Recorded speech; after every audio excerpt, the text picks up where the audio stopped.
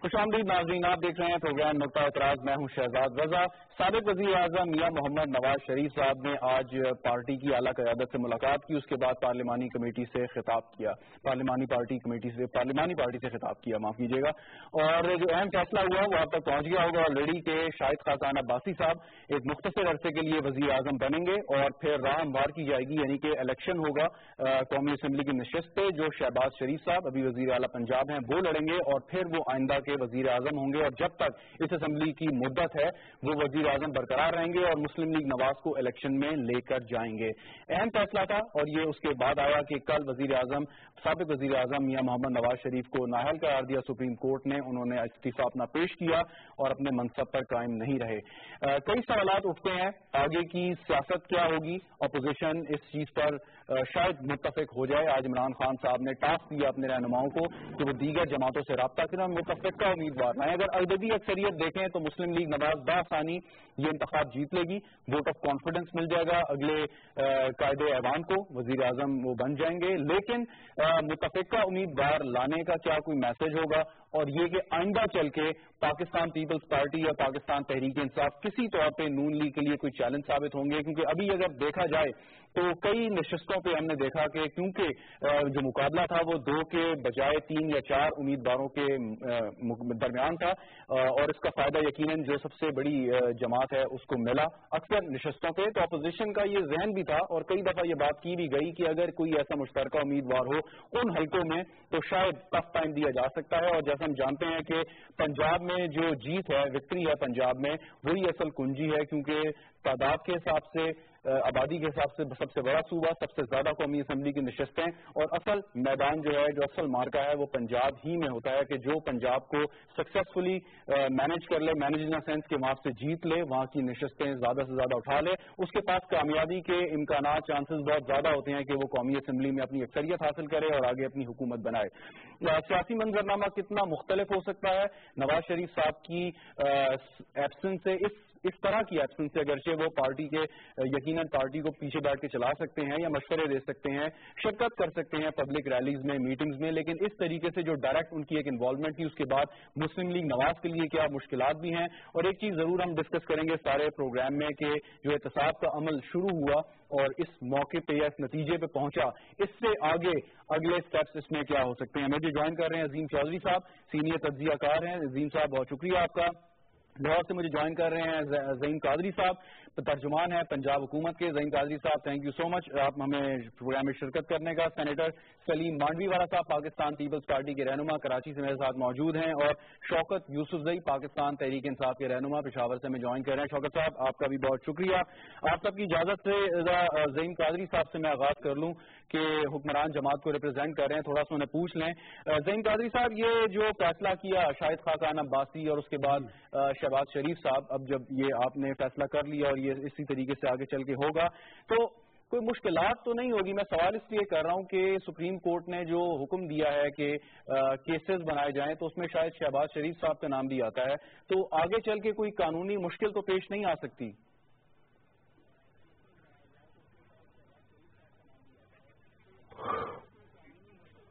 دیکھیں political parties جو ہیں وہ مشکل ادوار میں زندہ رہنا جانتی ہیں۔ اور پی ایم اور کون نہیں جانتا کہ P M P M L N نے جب بارہ اکتوبر کی وہ شب خون مارا گیا، تو کس طرح ہم نے اس پارٹی کو زندہ کیا اور پھر زندہ رکھا؟ مجھے یاد ہے کہ پہلی بار محترمہ کلسوم نواز گھر سے نکلی تو تقریباً ستارہ کے قریب لوگ ان کے ساتھ تھے۔ خاصار بھی ان میں موجود تھا، لیکن پھر وہ ہفتوں میں ستارہ ہزار اور پھر مہینوں میں ستارہ لاکھ تک پہنچ گئے۔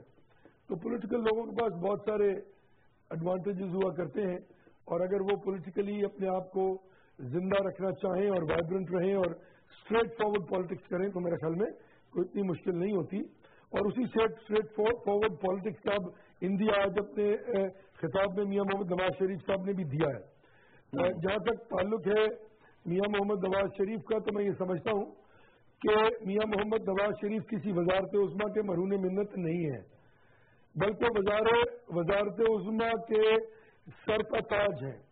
ایک شخص جو ضلع وطن ہو جائے اور جمہوریت کو شب خون مار کے آمریت اس ملک کو مسلط کر دی جائے اور وہ دس سال بعد آ کر اس ملک کا وزیر اعظم بن جائے اس کا بات اس کا مطلب اچھا۔ یہ بات مستند ہے کہ چودھری صاحب ایک سوال ہے آپ نے کیونکہ ذکر کیا بارہ اکتوبر فیصلہ کیا ہے۔ کیونکہ بارہ اکتوبر انیس سو ننانوے میں فرق تھوڑا سا اگر آپ ذرا اس کو تھوڑا سا وہ کر لیں کیونکہ آپ مواضع کر رہے ہیں کہ وہ ایک ایک ماشاء اللہ تھا ایک فوجی عامر نے آ کے اقتدار چھینا تھا ہائی مارل گراؤنڈ تھا۔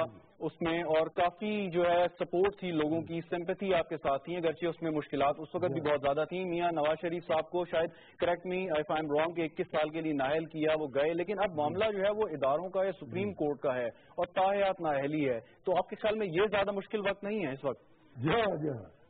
آج بھی یہی کیا انہوں نے؟ نہیں، میرا نہیں خیال۔ دیکھیے، ہم پالیٹکس کرنا جانتے ہیں، ہم ان کو پالیٹکس کروائیں گے۔ انشاءاللہ لاہور لے کے آئیں گے اور یہ میرے خیال میں یہ تو وقت وہ وقت ہے ہی نہیں۔ وہاں پہ تو پھانسی کی سزا تک کی گفتگو کی جا رہی تھی۔ بہرحال جو دونوں چیزوں میں بات جو ہے وہ ایک جیسی ہے وہ یہ ہے کہ جو فیصلہ ہوا ہے اس سے بھی میاں محمد نواز شریف کو نہ صرف اقتدار سے الگ کیا گیا بلکہ نااہل بھی کیا گیا ہے۔ اگر آپ کورس آف ایونٹس دیکھ لیں اس ملک کے پچھلے ستر برس کے تو ججز کے فیصلوں سے جتنے بھی وزرائے اعظم نااہل ہوئے ہیں دو چار پانچ سال بعد ان فیصلوں کے بارے میں جو گفتگو کی گئی ہے اور جو چیزیں انرتھ ہوئی ہیں وہ میں نہیں کہتا ساری دنیا کے سامنے چاہے وہ ارشاد حسن خان کا وہ طاقت دے دینا جنرل پرویز مشرف کو ہو جو کہ خود ان کے پاس نہیں تھی یعنی کہ آئین میں جو ہے وہ ترمیم کی اور اس سے پہلے ذوالفقار علی بھٹو کا فیصلہ جسٹس منیر کا فیصلہ جنرل ضیاء الحق کی اللہ کا فیصلہ تو ججز ہی ویلیڈیٹ کرتے رہے نا سر اور اس کے بعد فل بینچ اس کی ویلیڈیشن کو باقاعدہ روندتے رہے ہیں۔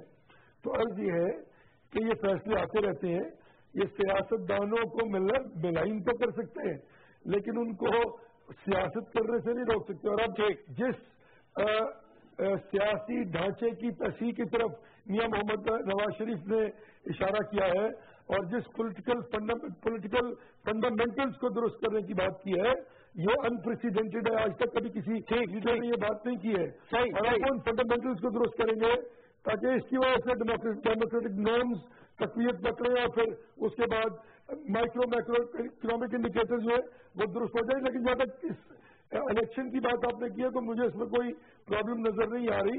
محمد شہباز شریف صاحب انشاءاللہ ایک سو بیس الیکشن لڑیں گے۔ میجورٹی آپ نے بتا دیا ہمارے پاس موجود ہے۔ اور ہم ان شاء اللہ تعالیٰ اسموتھلی سیل آؤٹ کریں گے اس سے۔ اور انشاءاللہ قوم کی خدمت کا سفر جاری رکھیں۔ چلے سینیٹر مانڈی والا صاحب یہ پاکستان پیپلز پارٹی اور مسلم لیگ نواز میں کئی مشترکات ہیں۔ آپ نے تاریخی چارٹر آف ڈیموکریسی آپ نے سائن کیا۔ یہ عہد کیا کہ ایک دوسرے کے مینڈیٹ کا خیال رکھا جائے گا اور کسی بھی غیر جمہوری طریقے کو سپورٹ نہیں کریں گے اور سکسیسفلی آپ اس پہ چلتے رہے۔ تحریک انصاف کو چارٹر اور ڈیموکریسی پہ اعتراضات بھی تھے۔ تو کوشچن یہ ہے کہ جو فنڈامنٹلز ٹھیک کرنے کی بات ہے، اس میں تو ایک ہم آنگی سی نظر آتی ہے کم از کم پاکستان پیپلز پارٹی اور مسلم لیگ نواز میں۔ اگرچہ ان کے درمیان یہ گیپ بڑھتا گیا پچھلے چار پانچ سالوں میں، اگر یہ نہ بڑھتا اور اس کو مل کر کام کرتے اسٹرکچر ٹھیک کرنے میں، نظام کو بہتر کرنے میں، تو آپ شاید یہ صورتحال نہ ہوتی، لیکن آگے چل کے آپ سمجھتے ہیں کہ اس پہ کوآپریشن ہو سکتا ہے دونوں جماعتوں میں۔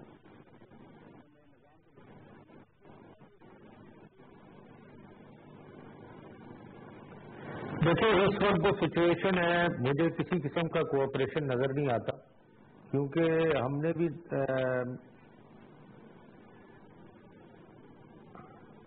کیونکہ ہم نے میاں نواز شریف صاحب کو پولیٹیکل ایڈوائس بھی دی ہم نے ان کو کہا کہ آپ ریزائن کریں۔ وہ انہوں نے اس بات کو سنا تک نہیں۔ کیونکہ ہم ایک اور اگر میاں نواز شریف صاحب سوچیں کہ جب انکانسٹیٹیوشنل ریموول کی ڈیمانڈ ہو رہی تھی ان کو نکالنے کی تو ان کو بچانے کون آیا؟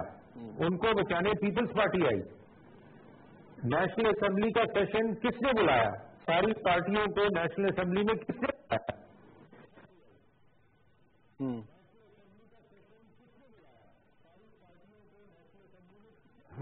ایڈوائز لینا ان سے ڈسکس کرنا تو پھر تو he is not only destroying the democratic system he is a threat to the parliament تو جو ہوا ہے وہ بیسکلی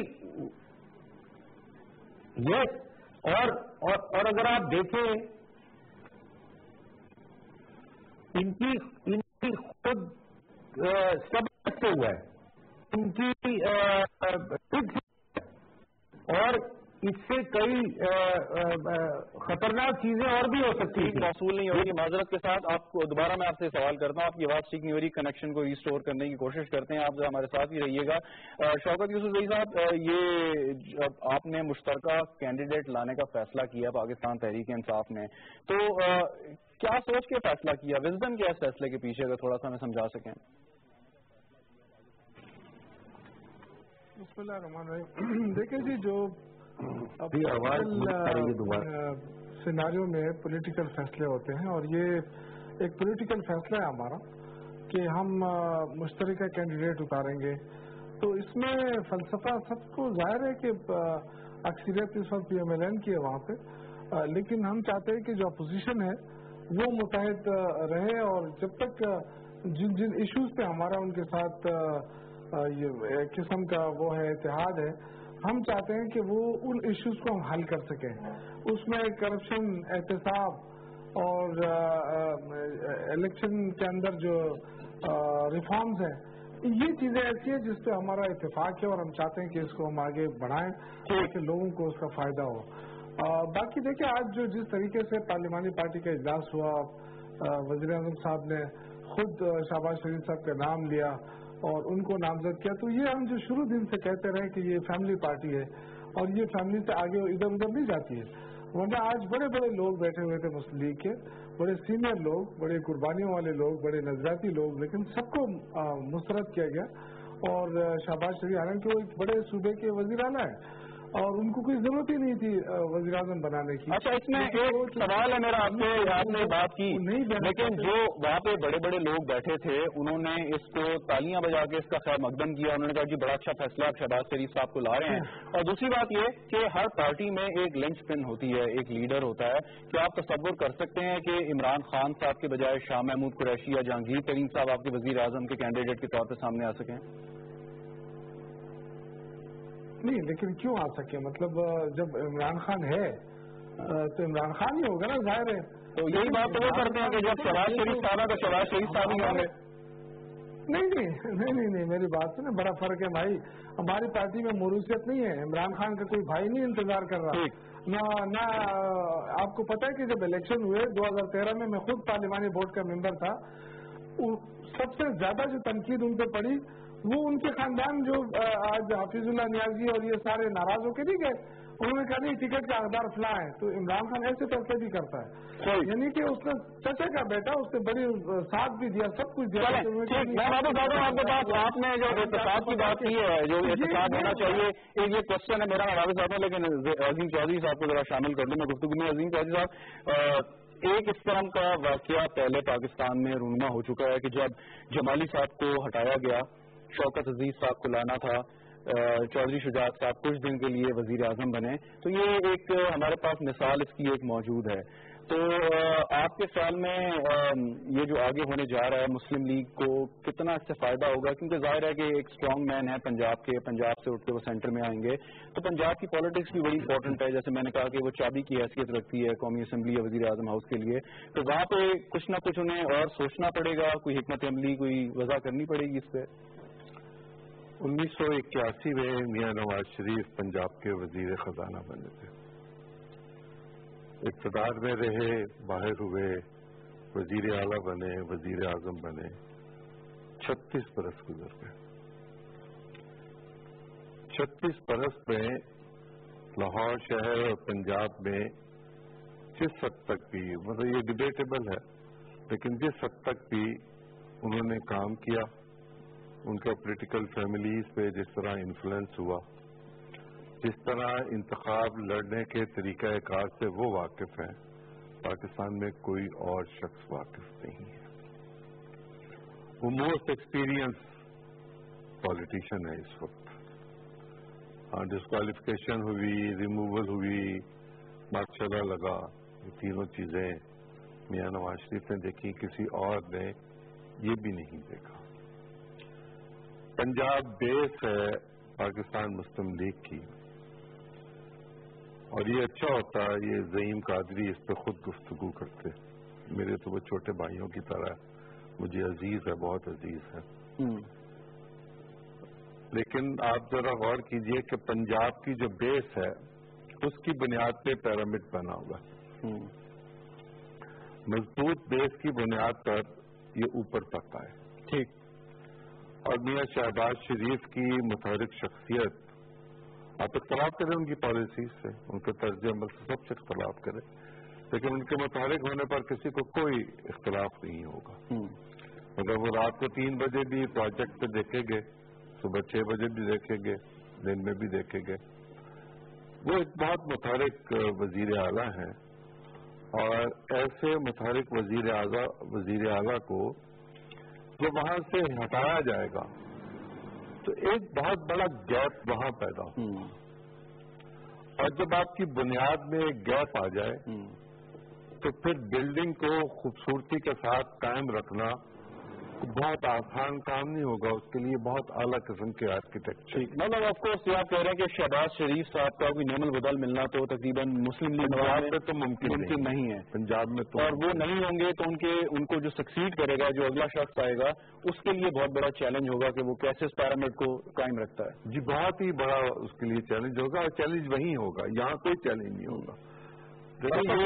ابھی بات کر رہے تھے شوکت صاحب کہ بڑے بڑے لوگ تھے اور کسی کو نہیں لیا۔ خاقان عباسی صاحب پچاسی میں ایم این اے بنے۔ میں واقف ہوں۔ ان سے کئی دفعہ اس وقت ملاقات ہوئی۔ وہ پروڈکشن کے منسٹر تھے۔ اوجری کیمپ کا جب واقعہ ہوا تو ایک راکٹ وہاں سے اڑا اور ان کی گاڑی پر بھی آ کے گرا جس میں ان کی شہادت ہو گئی۔ والد صاحب ان کے والد صاحب اور شاید پھر ایٹی ایٹ میں پہلی دفعہ آئے۔ پالیٹکس میں۔ اور راجا ظفر الحق صاحب اور ان کے درمیان مقابلہ تھا۔ آپ ذرا کٹ کاٹ بھی دیکھیے۔ راجا ظفر الحق صاحب ضیاء الحق صاحب کے اوپننگ بیٹسمین تھے شاید خاقان کمفرٹیبلی جیت کے اور وہ جیت کے چلے آئے۔ اور یہ تیس سال پرانی بات کر رہے ہیں جی میں ایٹی ایٹ کی بات۔ تیس سال پرانی ٹھیک۔ وہ کمفرٹیبلی جیت کے آئے۔ جب تیارہ سازش کیس ہوا تو اس میں شاید خاقان بھی گرفتار۔ اور ڈانڈی جیل میں یہ بھی رہے۔ اور انہوں نے استقامت کے ساتھ میاں نواز شریف صاحب کا ساتھ دیا۔ ان کی ہمشیرہ نے وہ مقدمہ بھی لڑا وہ سینٹ کی رکن بھی نہیں۔ تو شاہد خاقان نوازی کو جونیئر سے شخص نہیں ہے۔ وہ ایک بڑا سیزن پالیٹیشین ہے سافٹ اسپوکن ہے۔ کانٹروورسیز میں اس طرح نہیں جاتا جس طرح نارملی پالیٹیشینس چلے جاتے ہیں۔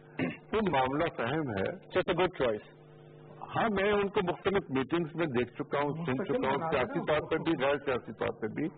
I think is a good choice ٹھیک بالکل ٹھیک۔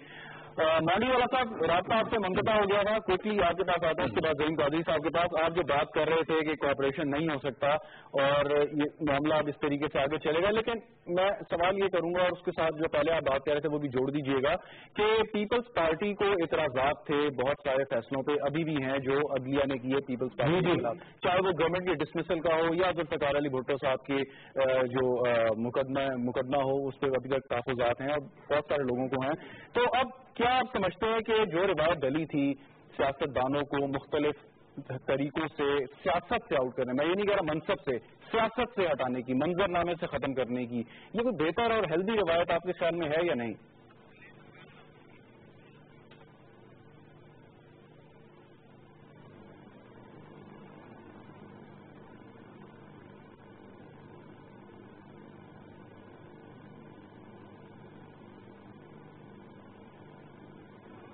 دیکھیں اگر آپ اس ڈسیشن کی بات کر رہے ہیں تو میں ان کو دوسروں آپ ہمارا ڈسیشن دیکھ لیں کہ ہمارے پرائم منسٹر کو انہوں نے برطرف کیا۔ کوئی کرپشن کا چارج نہیں تھا کوئی فورن کمپنی میں ڈائریکٹرشپ نہیں تھی کوئی کسی قسم کا کوئی چارج نہیں تھا صرف ایک لیٹر لکھنے پہ اس کو فارغ کر دیا گیا۔ اوکے جی۔ اور ہم نے اس کو ایکسپٹ کیا۔ ہم نے نہ اس کو حالانکہ ہم بھی کہہ سکتے تھے کہ غلط فیصلہ ہے۔ ہم بھی کہہ سکتے تھے کہ یہ چیزیں نہیں، ہم نے اس کو ایکسپٹ کیا اور ہم نے نیا پرائم منسٹر کے لیے نامنیشن کر دی۔ تو میرا کہنے کا مطلب یہ ہے کہ اب ایسی کیا بات ہو گئی ہے اور جو یہ آپ کہہ رہے ہیں نا کہ کرپشن کا چارج نہیں ہے، یہ غلط ہے۔ اگر آپ سپریم کورٹ کا آرڈر پڑھیں تو کرپشن کے بہت لمبے چوڑے چارجز ہیں۔ اور وہ اب جب انویسٹیگیٹ ہوں گے اور اس پہ جب چالان کٹیں گے اور اس پہ جب اریسٹ ہوں گے تو کرپشن سامنے آ جائے گی۔ یہ اپنے آپ کو آپ کہنا چاہ رہے ہیں کہ جی کرپشن کوئی نہیں ہے کیونکہ ڈسکوالیفیکیشن اس پہ نہیں ہوئی۔ ارے، اسی پہ ڈسکوالیفیکیشن ہوئی ہے اور اسی پہ پروسیکیوشن ہوگی اور اسی پہ اریسٹ کیا جائے گا اور اسی پہ سزا ہوگی۔ اور یہ آپ نیکسٹ سکسٹی ڈیز میں دیکھیں گے یہ پروسیس چلے گا اور یہ کمپلیٹ ہوگا۔ پھر آپ کے پاس کیا جواب ہوگا؟ کہ جی ہم کرپٹ نہیں ہیں۔ ہم نے یہ چیزیں نہیں کی یہ اثاثے ہمارے نہیں ہیں اور ہم اس کو پروو نہیں کر سکتے کہ ہم نے اثاثے کہاں سے خریدے۔ جھگڑا کیا ہے؟ جھگڑا تو یہی ہے نا کہ آپ آپ کی جو ویلتھ ہے آپ اس کو پروو نہیں کر سک رہے کہ یہ ویلتھ کہاں سے آئی۔ اور تو کوئی جھگڑا نہیں ہے۔ ٹھیک ٹھیک۔ دیٹ لیڈس ٹو کرپشن ٹھیک لیکن اچھا آپ یہ چیزیں پروو نہیں کریں گے آپ کو ایمپل اپرچونٹی ملی سپریم کورٹ میں آپ کو ایمپل اپرچونٹی ملی جے آئی ٹی میں۔ اب اگر آپ پریس کانفرنس کر رہے ہیں اور کہہ رہے ہیں میں نے کیا کیا ہے تو یہ تو بڑی عجیب سی بات ہے اور بڑی خطرناک بات ہے۔ چلو اس پہ زین کاوری صاحب تفصیل سے روشنی بھی ڈالیں گے لیکن ایک چیز جو میں سمجھ پایا ہوں اور جو میں نے ججمنٹ پڑھی ہے وہ یہ کہ جو انہوں نے نا اہل قرار دیا ہے وہ انہوں نے جو ورک پرمٹ اپنا مینشن نہیں کیا، وہ تنخواہ جو کہ وہ لے سکتے تھے اس ایف زیڈ ای کمپنی سے اور وہ اکامے کی جو بات ہے، تو جو چارجز کی آپ بات کر رہے ہیں، وہ چارجز تو نیب میں ریفرنس جائے گا، وہ فریم ہوں گے، اس کی بنیاد پر آگے کیس چلے گا درست کہہ رہے ہیں۔ لیکن جو کنوکشن ہے، جہاں تک میرے جیسا طالب علم نے تھوڑا اس کو اسٹڈی کیا، وہ کم از کم کرپشن کی بنیاد پہ نہ اہلی نہیں ہوئی نہ اہلی کی وجہ کچھ اور ہے، لیکن میں چاہوں گا زین چودھری صاحب اس پہ بھی روشنی ڈالیں، زین چودھری صاحب۔ اور دوسری بات جو عظیم چودھری صاحب نے کی کہ پنجاب جو ہے وہ بیس ہے آپ کی۔ پنجاب اگر جیتیں گے تو آگے وفاق میں حکومت بنانے کے قابل ہوں گے۔ اور شہباز شریف صاحب جیسا کونا مخ سیاست دان اگر پنجاب میں نہیں ہوگا تو چیلنج تو بہت بڑا ہوگا۔ جی زین قاضی صاحب، پہلے مانڈوی والا صاحب کا سوال اور اس کے بعد جو عظیم قاضی صاحب نے گفتگو کی۔ جی نہیں، میں عظیم چودھری صاحب کے سوال کو زیادہ وقت دیتا ہوں۔ کیونکہ تاریخ صحافت اور سیاست کی تاریخ میں میرے اساتذہ میں سے ہیں اور جتنی تاریخ کو یہ سمجھتے ہیں، میرے خیال میں کم لوگ جانتے ہیں۔ جہاں تک انہوں نے فرمایا کہ یقیناً ایک خلا تو ہوگا لیکن وہ خلا جو ہے وہ پر کرنے کی کوشش بھی نہیں ہو سکتی، کیونکہ جس کیپیسٹی کے ساتھ کیپیبلٹی کے ساتھ اور جس جو انڈیورنس کے ساتھ، محمد شہباز شریف صاحب نے پچھلے نو برس بتیس پبلک سوشل ویلفیئر کے پروجیکٹس کیے اور ان کو سکسیسفلی کمپلیٹ کیا۔ آپ دیکھ لیں Ashiana scheme yellow cab scheme metros سڑکوں کا جال ساڑھے پانچ ہزار kilometre farm to market road صاف پانی کا نیا منصوبہ تین سو ارب کا شروع کیا جا جا چکا ہے۔ Apna Ghar scheme laptop scheme colleges کی اسکیم مطلب ایک گھنٹہ لگ جائے گا آپ کو بتاتے ہوئے۔ یہ سب کچھ پورے پاکستان میں اور بھی دو صوبوں میں دو حکومتیں ہیں دور دور تک کچھ نہیں ہو پایا۔ سندھ میں جس کی ابھی بات فرما رہے تھے کرپشن کی داستان سنا رہے تھے، تو میرے خیال میں صرف سندھ کا ہی دورہ کر لیں تو آپ کو پتہ لگے گا کہ لڑکانہ پہ نبے ارب کہاں لگا ہے۔ اور جو سر محل سے لے کے ہاروں تک اور ڈکیتیوں سے لے کے لوگوں سے رینسم لینے تک کی بات ہے اور شوگر ملوں کی بات ہے میں کس کس بات پر جا کر بات کروں مانڈی صاحب مانڈی والا صاحب پڑے اچھے آدمی، لیکن ڈس بیلنس لگے مجھے آج۔ کیونکہ وہ اتنا اگریسو ہو رہے ہیں کہ شاید لوگ پیپلز پارٹی کی وہ کرپشن بھول گئے۔ بھائی، اگر کرپشن تھی تو اس میں ہی سزا دلوا دیتے۔ اور دوسری میری بات ہے کہ یور اسٹوڈنٹس اگر پڑھیں تو اس کا یہ کرپس ہے کہ you are innocent until proven guilty اور جب تک آپ ملزم ملزم کوئی برا لفظ نہیں ہے، ملزم وہ شخص ہے جس پر الزام لگایا جائے۔ مجرم وہ شخص ہے جو برا ہے اور جس پر الزام ثابت ہو جایا کرتا ہے۔ اور سر محل کی بات ہوئی ساری دنیا کو میں۔ شرجیل محمد صاحب نے کیا کیا؟ پھر آج ڈاکٹر تو پتہ نہیں لوگ پاگل سمجھتے ہیں۔ آپ پورا پاکستان لوٹ کے کھا گئے اور آپ نے چو تک نہیں کی آپ کو لوگوں نے جنم حاصل کر دیا لیکن زین قادری صاحب آپ وہی فارمولا جو ہم کی بات کر رہے ہیں پیپلز پارٹی میں بھی وہی اپلائی کریں کہ اگر آپ کہتے ہیں کہ ملزم کوئی برا لفظ نہیں ہے اور انڈرسٹینڈ انٹل پروون گلٹی تو پیپلز پارٹی کے رہنماؤں کو وہی فارمولا لگا دینا انہیں بھی مارجن دے دیں کوئی عدالت سے اگر ثابت نہیں ہوا تو معصومی کہلائیں گے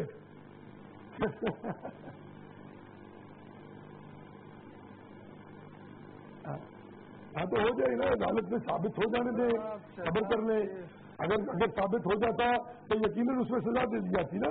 پھر مشرف کی طرح ہیلی کاپٹر کیس میں سزا تو نہ دی جاتی۔ ٹھیک ٹھیک۔ زین قادری صاحب میں واپس آتا ہوں۔ یہ ہمارا رائٹ ہے ہم ٹھیک بالکل رائٹ ہے اور آپ نے بالکل ٹھیک بات کی۔ ون مور ٹائم اور سلیم مانڈی والا صاحب کو شاید آواز ٹھیک نہیں آ رہی لیکن جو میں بات کر رہا تھا وہ یہی لاسٹ لاسٹ جملہ سن لیں جی جی لاسٹ نواز شریف صاحب کے بارے میں کہا گیا کہ وہ اپنے بھائی کو دے دی۔ مجھے آپ یہ بتائیں کہ ان کا بھائی جو کہ کمپٹنٹ ترین آدمی ہے جس نے نو سال اب اور چھ سال پہلے پنجاب کی تقدیر بدل دی ہے جس آدمی نے، جو اتنا انوویٹو ہے، جس طرح کہہ رہے تھے چودھری صاحب، کہ اٹھائیس پبلک سوشل ویلفیئر کے پروجیکٹ کرتا ہے، اس کو صرف اس لیے وزیر اعظم نہ بنایا جائے کہ وہ نواز شریف کا بھائی ہے، تو یہ تو ظلم ہے یار۔ ٹھیک، چلیں، میں وقفہ لے لوں، پھر وقفے کے بعد آتا ہوں، یہ تھوڑا شاید آواز کا مسئلہ تھا، لیکن جو میں بات کر رہا تھا وہ یہی تھی کہ جو عظیم زین قادری صاحب کہہ رہے ہیں کہ ملزم ہونا کوئی بات نہیں، الزام لگتا ہے، لیکن مجرم ہونا غلط بات، جب اگر ثابت ہو جائے تو یقیناً ثابت ہونا باقی ہے اور یہ فارمولا سب پہ اپلائی ہونا چاہیے اور ہوتا بھی ہے۔ مانوی والا صاحب کے ساتھ ادب سے کہ اگر پاکستان مسلم لیگ نواز کے لیڈران پر کوئی چیز ثابت نہیں ہوئی تو ان کو مجرم نہیں کہہ سکتے جیسے ہم آصف علی زرداری صاحب کو یا پاکستان پیپلز پارٹی کے کسی بھی رہنما کو، کیونکہ عدالت سے کچھ ثابت نہیں ہوا، مجرم قرار نہیں دے سکتے اور یہی فارمولا عمران خان صاحب پہ ہے کہ ان کا کیس چل رہا ہے۔ ملزم ہو سکتے ہیں لیکن مجرم اس وقت نہیں ہو سکتے، اس میں فرق ہے اور یہ دیکھنے کی ضرورت ہے، وقفہ وقفے کے بعد حاضر ہوتے ہیں۔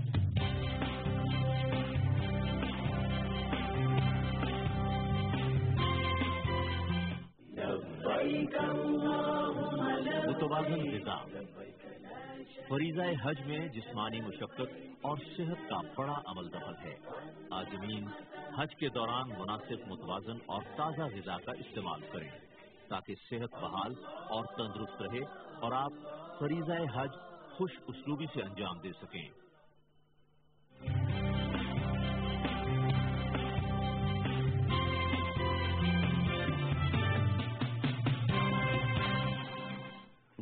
پروگرام میں ایک بار پھر خوش آمدید ناظرین ہمارے ساتھ موجود ہیں۔ عظیم قادری صاحب، سلیم مانڈوی والا صاحب، شوکت یوسف زئی صاحب اور عظیم چودھری صاحب۔ شوکت صاحب، آپ سے تین مختصر سوالات کرنے ہیں میں نے کوئکلی اور جلدی ایکسپیکٹ کروں گا کہ آپ ساتھ ساتھ جواب دیں گے۔ اس کے ایک تو پہلا سوال یہ کہ یہ باسٹھ تریسٹھ نواز شریف صاحب پر اپلائی ہوا۔ اسی ٹائپ کا کیس یعنی اس نوعیت کو تو نہیں میں کہہ رہا، لیکن باسٹھ تریسٹھ یعنی کہ عمران خان صاحب کا بھی کیس ہے۔ اکتیس تاریخ شاید اس کی دوبارہ سماعت ہے سپریم کورٹ کے سامنے۔ سوال ایک کرنا چاہتا ہوں کہ آپ بڑے زور و شور سے آپ کی جماعت نے کہا کہ باسٹھ تریسٹھ کو سابق وزیر اعظم پر اپلائی کیا جائے اور وہ ہو گیا۔ اب یہی اس کی اپلیکیشن آپ عمران خان صاحب پہ کیوں نہیں چاہتے؟ اس کی کیا وجہ؟ دیکھیں، یہ کام سپریم کورٹ کا ہے۔ سپریم کورٹ میں یہ کیس ہے اور مجھے بتائیں کہ عمران خان نے یہ جو کہہ رہے ہیں نواز شریف صاحب نے کہا کہ میرا جرم کیا ہے۔ تو ان کا جرم تو سامنے ہے۔ پاناما میں پورے ڈیٹیل سے آ گیا میرے دیکھیں میں اسی لیے میں نے آپ سے گزارش کی تھی کہ میں آپ سے تین کوشچن کروں گا اور چاہوں گا کہ آپ اسپیسیفک رہیں۔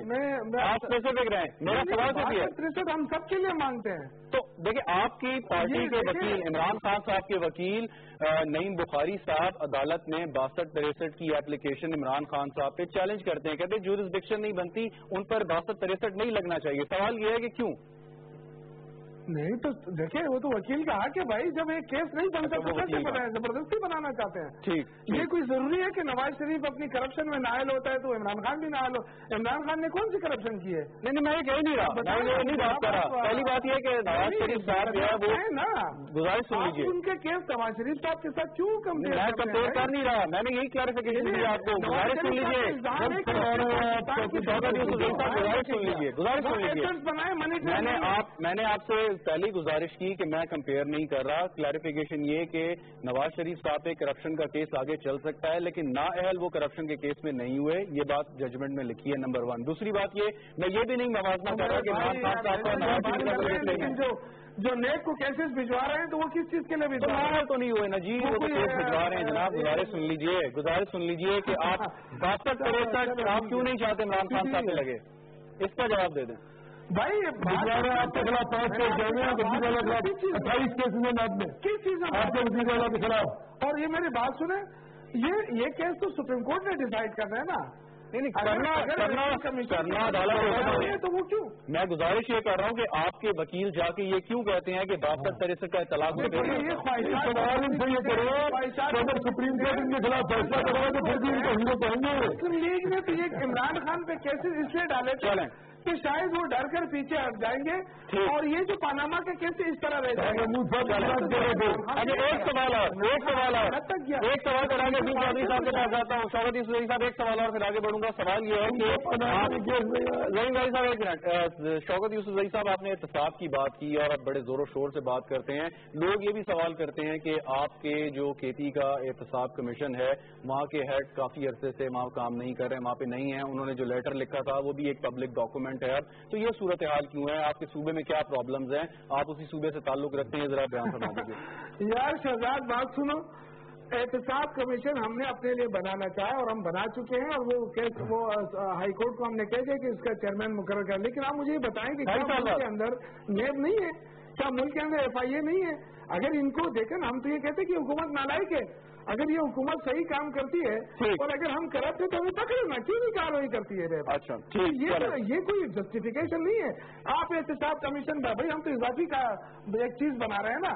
جو قانون بنا ہے وہ تو موجود ہے۔ وہ تو نئے ایف آئی ہے۔ انٹی کرپشن ہے آپ کو کسی نے روکا ہے؟ نہیں یہ تو مجھے سمجھ جاتے ہیں فوراً اس پہ آ جاتے ہیں۔ کہ جی کہتے ہیں احتساب احتساب کمیشن ہم بنا رہے ہیں۔ اس میں لوگ پھول تھے وہ ہٹا رہے ہیں۔ مؤثر قانون سازی کر رہے ہیں تاکہ فیوچر کے لیے بھی رہے۔ اس کی طرح مجھے بتایا ہو رہی ہے۔ جی بھائی صاحب کوئکلی پھر آگے بڑھتا ہوں۔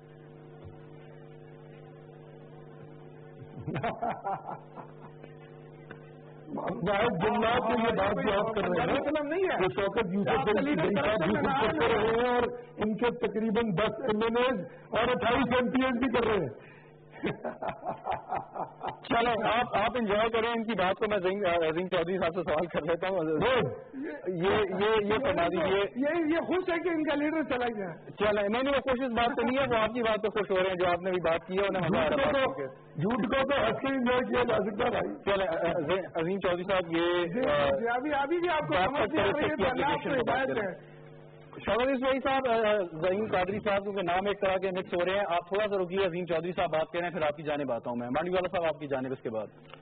دیکھیں کچھ لوگ یہ کہہ رہے ہیں کہ باسٹھ تریسٹھ کو ختم کر دینا چاہیے۔ چاہیے باسٹھ تریسٹھ انیس سو تہتر کے اوریجنل آئین میں بھی تھی۔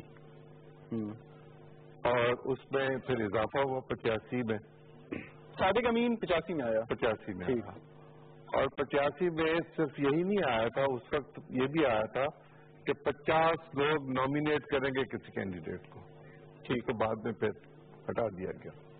اب ایک نومینیشن کرنے والا ہے ایک پر پوز کرنے والا اس پر ہے۔ وہ وقت کے ساتھ ساتھ چیزیں بدلتی رہتی ہیں بدلتی بھی رہنی چاہیے۔ میرے نزدیک صاحبہ نے بھی اسی آئین کے تحت حلف لیا یا نواز شریف صاحب نے بھی لیا اوروں نے بھی لیا۔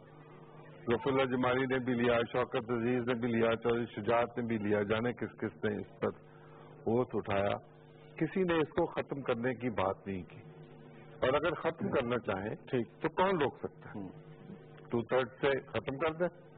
ویسے تو اٹھارہویں ترمی میں کچھ کوشش ہوئی تھی بات ہوئی تھی لیکن پھر پھر کیا ہوا تھا؟ پھر وہ لوگ جو اس ملک میں اپنا ایک دھونس اور دھندی کا طریقہ کار رکھتے ہیں انہوں نے آنکھیں دکھائیں مذہبی جماعتوں نے اور انہوں نے کہا کہ اچھا تم یہ نکال کے دکھاؤ ہم تمہیں نکال دیں گے۔ مذہبی جماعتیں بھی دھاندلی کرتی ہیں۔ ہاں تو اور کیا کرتی ہیں؟ یہ جو کوئٹہ کا بھی الیکشن تھا اس میں میں تھا تھپڑ میں لگا رہا تھا۔ اچھا وہ پرانی ویڈیو تھی۔ اس بات چلو وہ جب کی بھی ویڈیو تھی لیکن کو مولوی تھا۔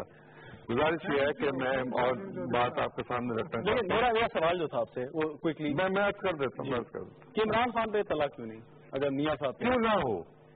کیا عمران خان نے اس آئین کے ساتھ قومی اسمبلی کا حلف نہیں اٹھایا؟ وہ انہوں نے کرپشن نہیں کیا کیا جنگیر ترین نے حلف نہیں اٹھایا؟ اگر کرپشن دہی کی اور اس قانون کے اس آئین کی دفعہ کے تحت مقدمہ چل رہا ہے تو کورٹ فیصلہ کر دے گی کہ ہوئی کہ نہیں ہوئی۔ اور اگر کورٹ کہہ دے کیا نہیں ہوئی تو ٹھیک ہے۔ اور اگر کورٹ کہہ دے کیا ہوئی ہے تو پھر ذہیم قادری جتنا مرضی حضرت تو کون روک سکتا ہے بالکل۔ مانی والا صاحب ایک سوال آپ سے یہ ہے اور یہ بڑا ایک فنڈامنٹل کوشچن ہے بڑی ڈبیٹ ہوتی ہے اور تحریک انصاف اس پہ بڑی تنقید کا نشانہ بناتی ہے مسلم لیگ نواز کو بھی اور پاکستان پیپلز پارٹی کو بھی۔ وہ یہ کہتے ہیں کہ پاکستان پیپلز پارٹی اور مسلم لیگ نواز کی حکومت جو ہے وہ خاندانوں کے گرد گھومتی ہے۔ یعنی کہ اگر آپ کی جماعت میں بھی دیکھیں تو ایک لیگسی چلی آ رہی ہے نون لیگ میں بھی دیکھیں تو ایک لیگسی چلی آ رہی ہے۔ تو یہ کوئی بری بات ہے آپ کے خیال میں؟ کیونکہ تحریک انصاف اس کو ایک کریڈٹ کے طور پہ لیتی ہے کہ ہماری جماعت میں موروثی سیاست نہیں ہے۔ کیا کہیں گے مانڈی والا صاحب اس پہ؟ آپ ہمیں لڑانا چاہتے ہیں۔ آپ ہمیں لڑانا چاہتے ہیں۔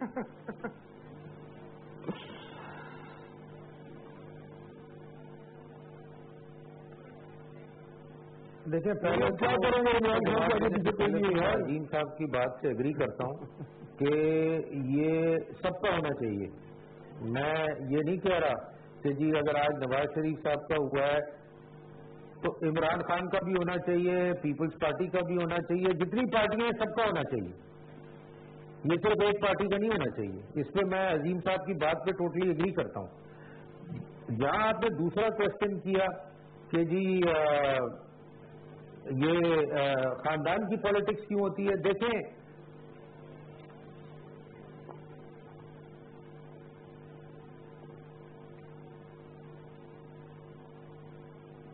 جی بولیں۔ جی کنٹینیو رکھیے مانی والا صاحب کی آواز آ رہی ہے۔ ان خاندانوں نے سیکریفائسز دی ان خاندانوں اور پیپلز پارٹی کے تو پورا خاندان تباہ ہو گیا۔ کسی کو مار دیا گیا کسی کو سولی چڑھا دیا گیا کسی کو۔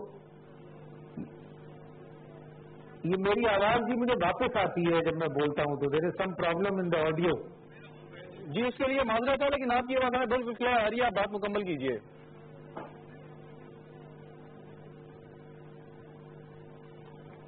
تو وہ ڈسٹرب ہوتی ایکو آ رہا ہے نا ایکو اس کو ڈسٹرب ہو ٹھیک ہے۔ تو اگر خاندان، اور اور میں آپ کو بتاؤں امریکہ میں کینیڈیز کی فیملی کی سیاست تھی۔ وہاں تو کسی نے نہیں بولا کہ جی یہ فیملی کی سیاست کیوں ہو رہی ہے۔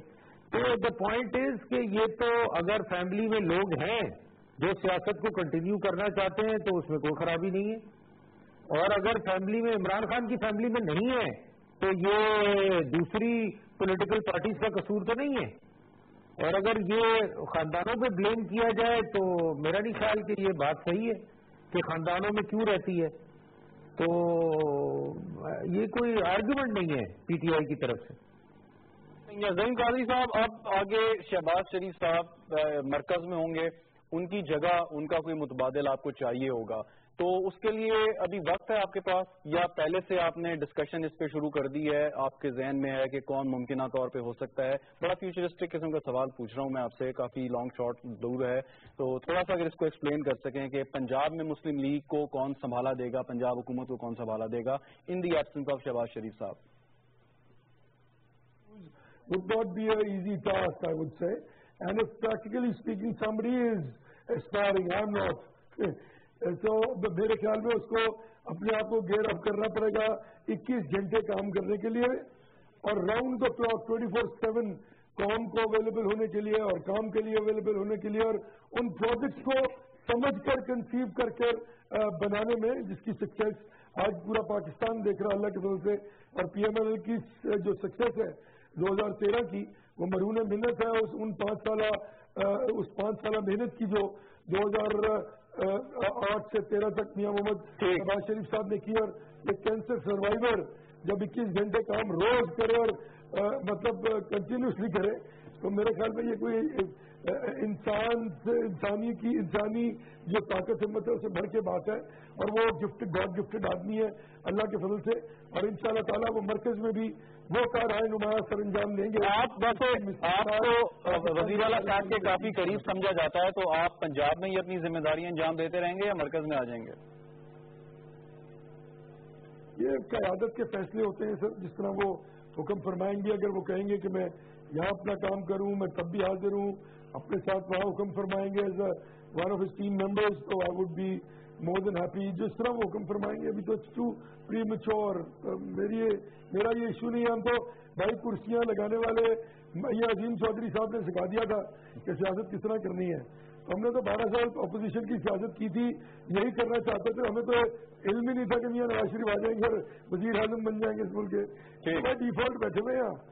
اور ہم نے وہ کوالٹیز بھی نہیں ہے جو وزیر اعظم اور وزیر اعظم بن جائیں۔ اچھا ایک ایک ایک سوال اس کے بعد آگے بڑھتا ہوں وہ یہ کہ عمران خان صاحب نے یہ اپنا بیان دیا کہ عدالت جو ہے وہ جلد از جلد فیصلہ سنائے، کیونکہ جو ایک اسٹیل میٹ کی، ایک جمود کی کیفیت تاری ہے، یہ پاناما ورڈک سے ایک دن پہلے انہوں نے پریس کانفرنس کرتے ہوئے انہوں نے بیان فرمایا تھا، جس پہ اپوزیشن لیڈر نے کہا کہ وہ عدالت کو اس طریقے سے نہ پکارے عمران خان صاحب۔ بہرحال انہوں نے کہا کہ جلد از جلد فیصلہ ہو، اس میں کوئی وہ بات بھی نہیں ہے، آپ عدالت سے درخواست کر سکتے ہیں، اس کو کسی بھی طور پہ آپ اس کو انٹرپریٹ کر سکتے ہیں، لیکن اگر انٹینشن اچھی ہو تو اس میں کوئی میرے خیال میں برائی نہیں۔ آپ کیا آپ بھی عدالت سے درخواست کریں گے کہ عمران خان صاحب کے کیس کا فیصلہ جلدی ہونا چاہیے اب؟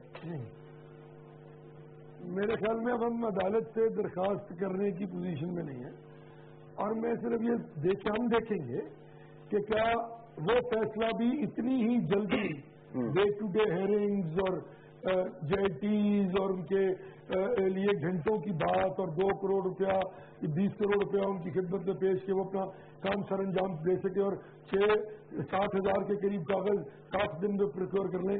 اور اکتیس کو جب یہ فیصلہ جب آئے گا انشاءاللہ دن تو ہم امید کریں گے کہ فیصلے کے ترازو میں جس طرح جس ترازو سے میاں محمد نواز شریف کا فیصلہ کیا گیا ہے اسی ترازو سے یعنی کہ ایک پلے میں دو لاکھ روپیہ اور دوسرے پلے میں اٹھارہ کروڑ کا ووٹ ٹھیک فائنل کامنٹ آپ سے لے لیتا ہوں آپ مجھے اعتراض ہم یہ کرتے تھے۔ خدا نہ خاص یہ فیصلہ عوام کی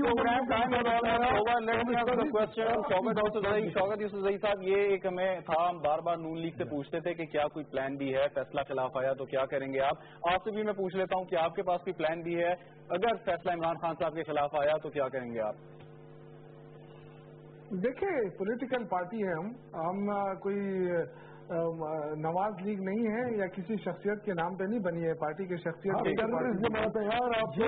یہ بائیس سال تحریر چلی اور اللہ کے فضل سے ہم اس میں کامیاب ہوئے ہیں۔ تو مجھے نہیں سمجھ آتی ہے کہ عمران خان کیوں نہ آئے لوگ آپ مجھے بتایا اچھا آپ کو نہیں سمجھ آتی۔ سمجھ نہیں آ رہی تھی لیکن آج اللہ کے فضل و کرم سے پوری قوم جاگ گئی ہے۔ چلیں بہت شکریہ دو لفظ بتا دیں۔ اگر عمران خان نہیں تو کون؟ نہیں عمران خان کے بعد عمران خان کے بعد کچھ نہیں لیکن میں ایک اور فکرہ کہنا چاہتا ہوں۔